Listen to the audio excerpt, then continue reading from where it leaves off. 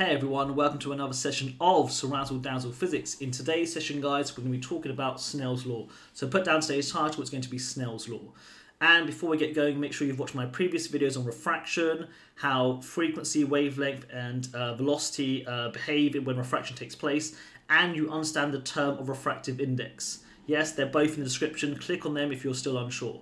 And if you're still struggling, guys, comment below and I'll try and solve all the problems. Right, so what exactly is Snell's law? Let's do it now. Okay, so over here we have refraction taking place. Yes, we've got material uh, over here and another material over there. We can see that refraction is taking place over here. Right, so we're going to say that um, we know that this one, this material A over here has its own refractive index. So let's call this the refractive index of material 1.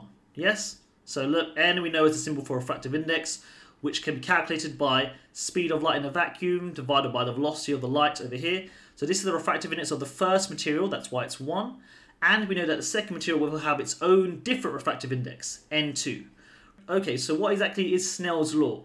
Well, Snell's law is going to be able to relate this angle here, let's call this one theta 1, the refract, and this angle over here, let's call this angle theta 2, yes, from the normal out, from the normal out again, to the refractive indices of the different materials. So it relates them all together. It will relate N1, theta 1, and N2 and theta 2 together. It will be given by the following formula. So this one is Snell's law. It's going to be N1 sine of the angle theta 1 will be equal to N2 sine of the angle theta 2. So this is going to be Snell's law. N1 sine theta 1 is equal to N2 sine theta 2.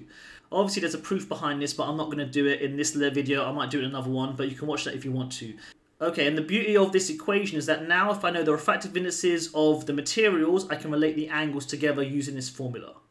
Okay, so Obviously, you need to have the refractive index of the first material and the refractive index of the second material as well in order to do this calculation.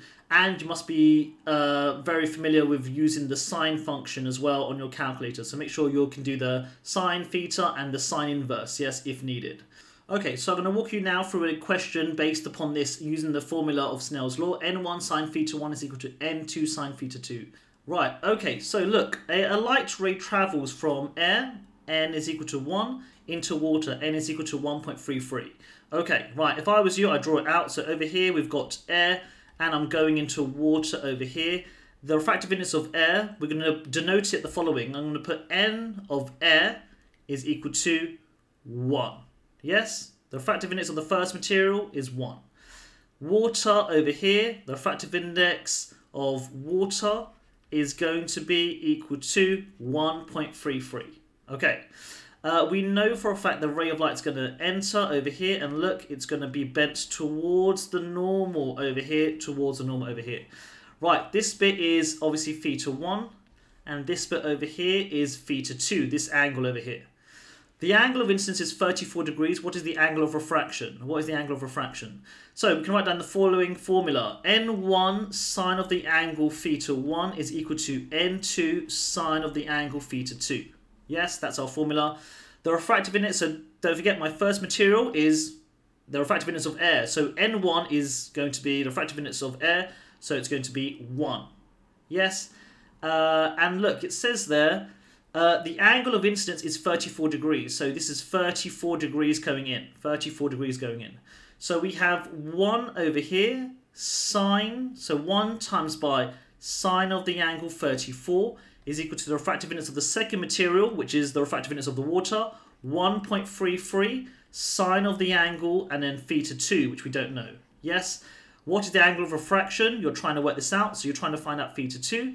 Rearranging this formula then, so uh, 1 times by sine of the angle 34 divided by 1.35 is equal to sine of the angle theta 2.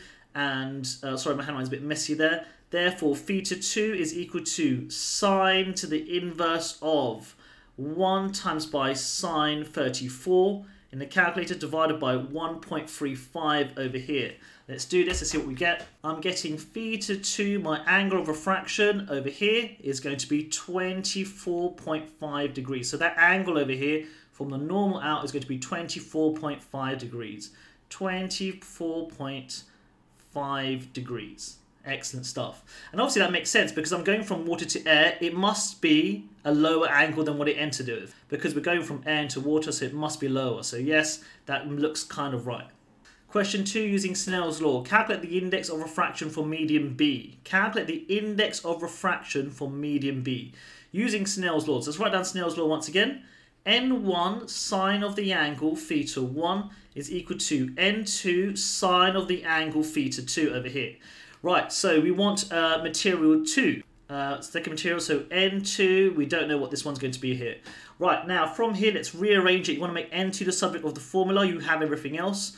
Right, so don't forget, oh, now careful, it's 53 degrees here. That's not the angle that you want. You want this one over here. Don't forget, because it's from the normal out, it relates that angle over there. So, so this angle is actually 37. So 37 goes in, and this one is going to be don't forget I want I don't want this angle I want this angle over here I want 53 over here. Yes excellent stuff. So now we can plug this into our formula. So we're trying to find out n2 so n1 was glass. So now I'm going from glass into something else. And obviously I can see it's going to be less dense because it's moving away from the normal. So I already know it's going to be less dense so it should be lower than this value over here.